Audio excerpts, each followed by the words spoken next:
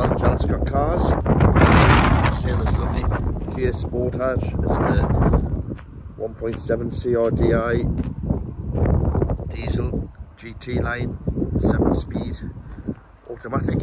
It's just come in, so literally you've seen it as we've got it in. Only two owners from new with full service history. Last one done in, in April this year, and it's MOT in March next year. It's still got the remaining of the seven year Kia warranty on this vehicle until March 2026, so which is fantastic. It's a very good spec, will be the GT line, top of the range, so all the bits and bobs on it, which I'll show you inside in a moment. Lovely diamond cut alloys on the car. So you are seeing as we've got it in.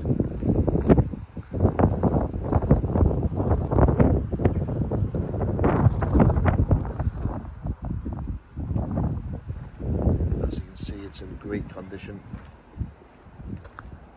front and rear parking sensors and reverse camera on the car. Full leather inside front heated seats as well. DAB radio cruise control sat nav bluetooth electric folding and wing mirrors.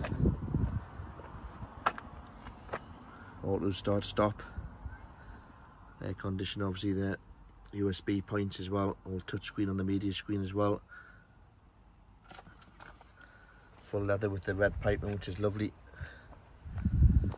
really nice car like I mentioned has just come in so if you're interested in this vehicle and the automatic diesels at this sort of price range are very very popular please do get in touch and we can work a deal out over the phone. If you're not local to us and then reserve the car for you with a 200 pound holding fee and then organize arrangements from there. We do also offer UK home delivery which is proven very popular very good value for money so if you're not local to us we can deliver to your door. Bit of background on ourselves we're a family run business been established since 1981 award-winning family-run business. There's all the service history pack and book there all stamped up to date. Been going since let's say over 42 years. So do please get in touch and we'll be happy to help. Finance options are available on this car and part exchanges are welcome. And just to recap on the cars the Kia Sportage the GT line the CRDI 7-speed diesel automatic still got the remaining of the Kia warranty till March 2026 two owners full service history the car's just been serviced and it's MOT'd until March next year